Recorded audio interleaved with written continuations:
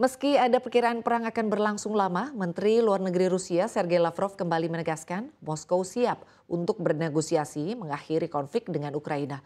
Lavrov menuding selama ini Kiev dan sekutu baratnya menghambat kemajuan dialog. что украинский режим, который, ну, по идее, шагу не должен делать без согласия Вашингтона, год назад принял декрет, подписанный Зеленским, запрещающий переговоры с кем бы то ни было из российского правительства.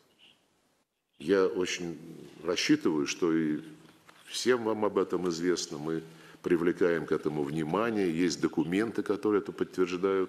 Я очень рассчитываю, что страны, которые обращаются с инициативами о том, чтобы начать переговоры, знают про этот запрет и понимают, что мячик-то совсем не на, не, не на нашей стороне.